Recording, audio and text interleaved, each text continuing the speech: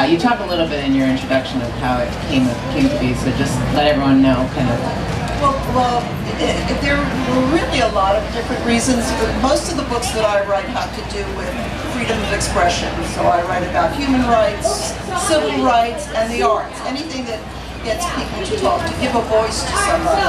And uh, LGBTQ, T, when I started this book, was never even talked about. In fact, my friends thought I was nuts for doing it because there weren't that many transgender people around as far as anyone knew. It was five years ago and it was very quiet.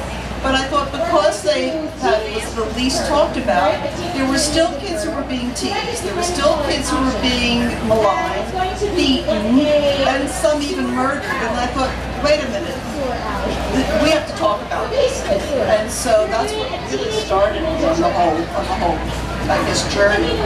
And can you just talk a little bit about where you found these teams in your book? Uh, well, that that was that was a trick. It took me close to a year to find to be even begin starting. First of all, I have a lot to learn, and secondly, um, I didn't want to to ask somebody to do something or to just go up to anybody and say, would you know, would you read my book?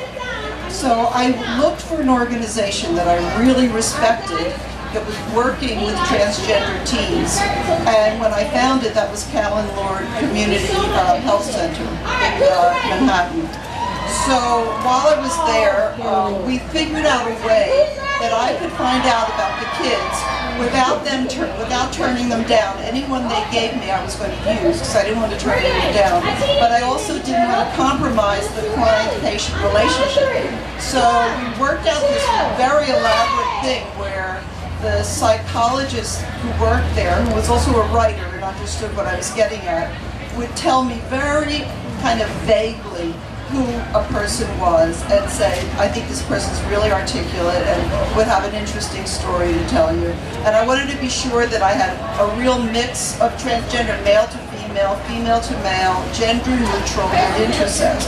So that had to be very, that had to be included, plus a mix of socioeconomic condition, uh, situations, uh, racial.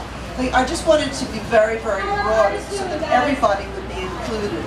And, and we just worked together.